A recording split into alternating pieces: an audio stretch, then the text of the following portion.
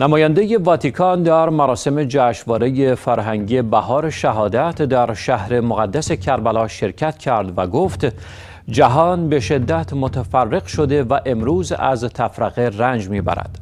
به گزارش خبرگزاری اخبار شیعه به نقل از خبرگزاری نون اسقف دزانی رئیس کتابخانه واتیکان که برای شرکت در جشنواره بین المللی بهار شهادت در حرم متحر امام حسین علیه السلام به عراق رفته است با تاکید بر اینکه جهان امروز به شدت دچار تفرقه شده است اظهار کرد. باید با همدیگر متحد شویم تا عشق و رحمت را به جهانیان تقدیم کنیم زیرا جهان دارای ادیان و طیفهای مختلف است. وی با اشاره به اینکه نخستین بار است به عراق سفر می کند و در این جشنواره شرکت می کند افزود شنیدن سخنانی درباره تجارب ایمانی و عقاید مشترک که در افتتاحیه به آن اشاره شد بسیار مهم است. این مقام واتیکان تصریح کرد درست است که گذشته و حفظ آن بسیار مهم است اما حال هم مهم است. زیرا این زمینه را به ما می دهد که بفهمیم جهان امروزه به شدت دچار تفرقه شده است و از تفرقه رنج می برد. حال همچنین به ما میفهماند که برای تقدیم عشق و محبت به جهانیان با هم متحد شویم وی ادامه داد دیدار با آیت الله العظما سیستانی یک دیدار معنوی بود و برای ما مسیحیان بسیار حائز اهمیت است در این گفتگو سبود در دیانت و فرهنگ و جامعه نمود یافت و این آغاز جدیدی است که از طریق این دیدار حاصل شد.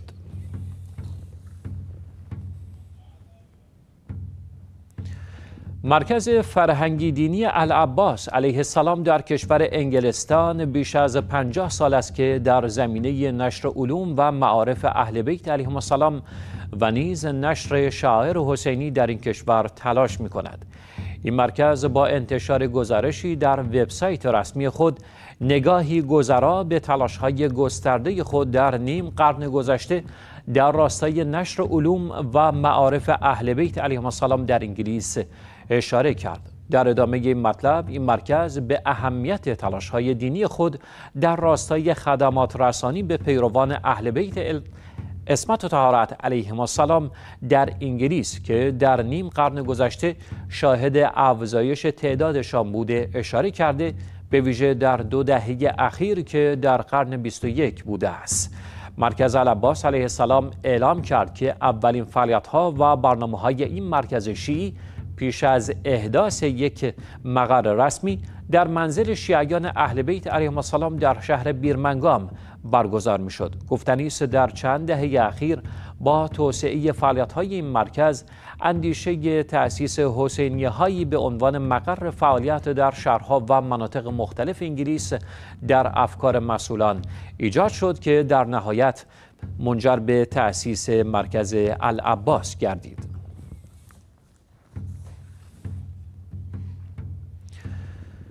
بخش حقوقی مؤسسه فرهنگی نیکوکاری مصباح حسین علیه السلام از مراکز مرتبط با دفتر مرجع عالیقدر الله العظما سید صادق شیرازی در شهر مقدس کربلا از پایان مرحله اول طرح توسعه عراق خبر داد.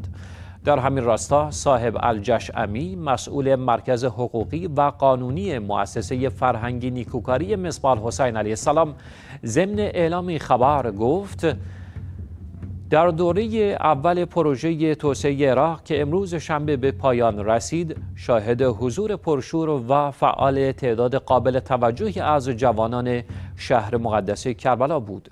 گفتنی است دوره طرح توسعه عراق شاهد حضور جوانان نخبه بود که همگی فارغ التحصیل رشته های مختلف حقوقی و قانونی هستند.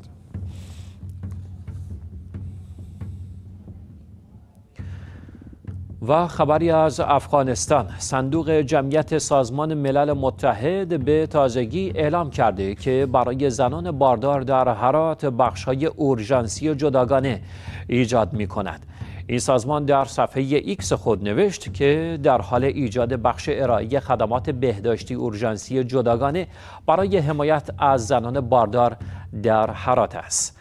به گفته این سازمان پس از زلزله مرگبار 11 اکتبر سال گذشته میلادی بیمارستان های زیادی در هرات آسیب دیده و در حال حاضر مکان مناسبی برای مسئولیت و حمایت از زنان باردار در بیمارستان های این ولایت وجود ندارد.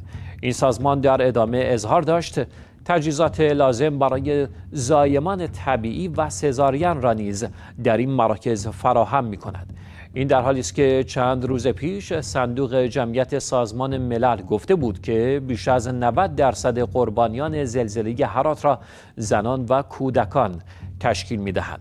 بر اساس گزارش این سازمان نزدیک به 7500 زن باردار و 38 هزار دختر در نتیجه زلزله اخیر هرات آسیب دیدند.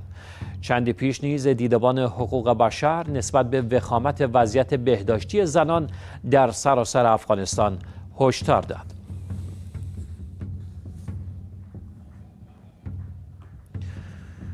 بیش از چهار هزار والدین در واتساپ به گروهی ملحق شدند که متعهد هستند کودکان خردسال را از داشتن تلفن‌های هوشمند من.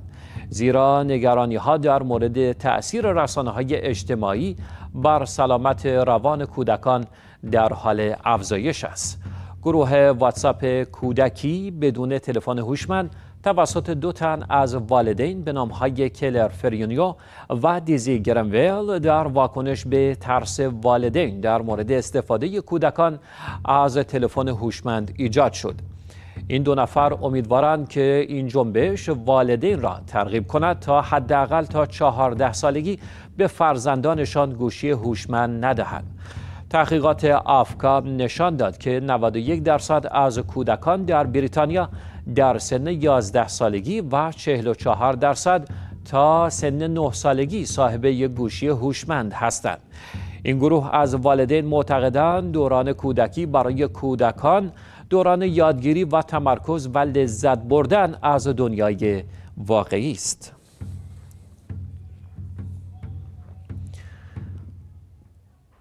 و خبری از فعالیت های مسلمانان در استرالیا. به گزارش خبرگزاری اخبار شیعه به نقل از روزنامه نشنال تریبون بیش از 35 مسجد و مرکز اسلامی در سراسر استرالیا به عنوان بخشی از طرح روز باز با حمایت دولت دربهای خود را به روی شهروندان غیر مسلمان باز خواهند کرد. این گزارش در ادامه افزود. این رویداد که از سال 2017 برگزار می شود توسط اینگرید استیت وزیر امور فرهنگی تشویق می شود تا دین واقعی اسلام را معرفی کند. بر اساس این گزارش دولت استرالیا بودجه‌ای به ارزش 400 هزار دلار برای حمایت از رویداد روز باز برای مساجد در چهار سال آینده فراهم کرد. گفتنی است مساجد و مراکز اسلامی در ملبورن، ویکتوریا، دانورنگ، جیلونگ، میلودرا و سایر مناطق از جمله مؤسسه اسلامی استرالیا برای عموم باز خواهند بود.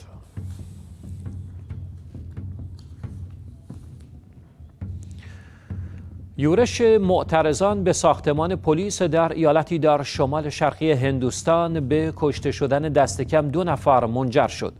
به گزارش خبرگزاری اخبار شیعه به نقل از خبرگزاری فرانسه در پی یورش معترضان به ساختمان پلیس در ایالت مانیپور در مرز هندوستان و میانمار که خواستار ابقای یک افسر پلیس شده بودند دست کم دو نفر کشته شدند. ایالت مانیپور که از آن به عنوان یکی از ایالات یاغی یاد می شود از پارسال صحنه درگیری های خشونت آمیز قومی بوده که تاکنون جان دست کم دو نفر را گرفته است. تازه ترین حادثه در منطقه پوراشانپور رخ داد جایی که بنا به اعلام پلیس یک باند حدود 400 نفری به دفتر فرماندهی پلیس محلی یورش بردند. در بیانیه اتحادیه رهبران قبایل بومی این ایالت آمده است که نیروهای امنیتی دو نفر از معترضان را به ضرب گلوله کشتند و 25 تن دیگر نیز زخمی شدند. گفته می شود این افراد که از آنها به عنوان معترض یاد شده است خواستار ابقای یک افسر پلیس شده بودند که به دلیل سلفی گرفتن با شبه نظامیان شورشی تعلیق شده بود نیروهای امنیتی محلی ضمن استفاده از گاز اشکاور برای متفرق کردن معترضان اینترنت این منطقه را برای پنج روز قطع کردند.